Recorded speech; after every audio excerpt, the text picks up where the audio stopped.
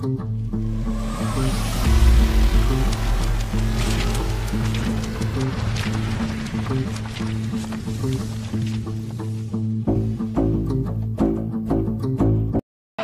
えたよ。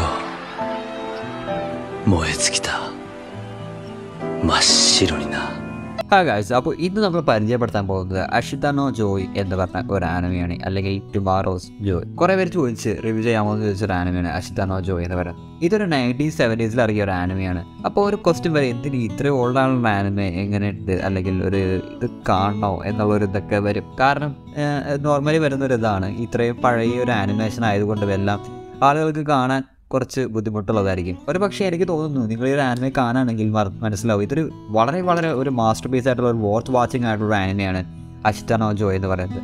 ഇപ്പോൾ ഹജ്മേനോ ഇപ്പോൾ ആയാലും മെഗലോ ബോക്സ് ആയാലും കെങ്കനാസുർ അങ്ങനെ ഏത് ബോക്സിംഗ് ആനിമ എടുത്ത് നോക്കിയാലും അതിൽ നമുക്ക് കാണുന്നത് അതിലൊരു ബോക്സിംഗ് ഫൈറ്റിംഗ് ഇതെല്ലാം കാണാൻ വേണ്ടിയാണ്. മറിച്ച് അഷിതനോ ജോ എന്ന് പറഞ്ഞാൽ ഇത് അതിലേക്ക് വരാണെങ്കിൽ കുറച്ചുകൂടി ക്യാരക്ടർ ഡ്രിവൺ ആയിട്ടും അതുപോലെ അത്യാവശ്യം കൊള്ളാവുന്ന ഫൈറ്റ് സീക്വൻസുകളുണ്ട് നല്ല ഒരു ആനിമയാണ് അഷിതാനോ ജോ എന്ന് പറയുന്നത്.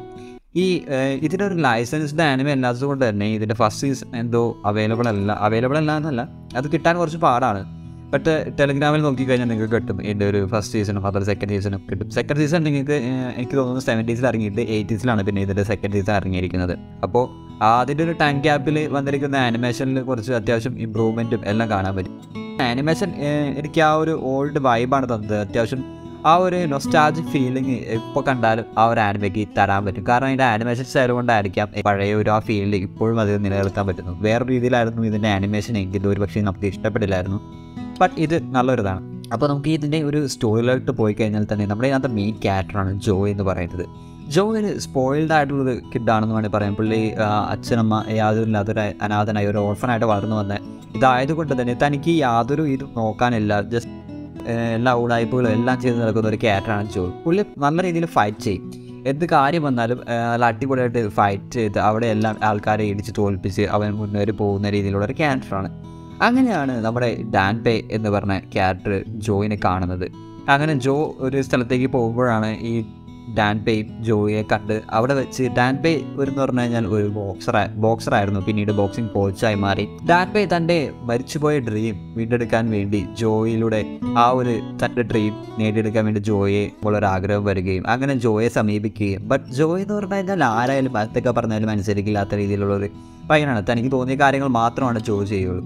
അപ്പോൾ അങ്ങനെ ഒരു ക്യാരക്ടർ ഡാൻ പേ തന്റെ ആ ഒരു ക്യാരക്ടർ ഇതിലൂടെ തന്നെ ജോ താൻ ചെയ്യാമെന്നുള്ള രീതിയിൽ ഒരു ബോക്സറായി മാറാം എന്നുള്ള ഇതിനകത്തേക്ക് എടുത്ത് മാറ്റുന്നു. അപ്പോൾ നിങ്ങൾക്ക് ഇതിൽ തുടക്കം കാണുമ്പോൾ ഏതാ ഏതൊരു നോർമൽ ആനിമേ കാണുന്ന പോലെ ഒരു ബോക്സിങ് ആനിമേ കാണുന്ന വഴി ഒരു സ്പോർട്സ് ഇത് എന്താ പറയുക ഒരാൾ സ്പോർട്സ് ഇതിനകത്തേക്ക് കൊണ്ടുപോകുന്നു ഒരു ബോക്സിങ് ഇതിനകത്തേക്ക് കൊണ്ടുപോകുന്നു. ബട്ട് അതിനെല്ലാം മറിച്ച് ഇതിൽ എനിക്ക് ഈ ഒരു ആനിമേ ശരിക്കും മുന്നോട്ട് പോകുന്ന ഒരു ക്യാരക്ടർ ഡ്രിവൺ ആയിട്ടാണ്. അതായത് ഓരോ ക്യാരക്ടറും ജോ ഡാൻ പേ യോക്കോ അങ്ങനെ കുറേ ക്യാരക്ടേഴ്സ് വരുന്നുണ്ട്. അപ്പോൾ ഇവരെല്ലാവരും റിക്കീഷി ഇവരെല്ലാം ഇവരുടെ റൈവലായിട്ട് വരുന്ന ക്യാരക്ടറാണ് അപ്പോൾ ഇതുകൊണ്ടാണ് ഇതിന്റെ ഒരു ഭയങ്കര ഇമ്പാക്റ്റാണ് ഈ ഒരു കണ്ടു കഴിയുമ്പോൾ.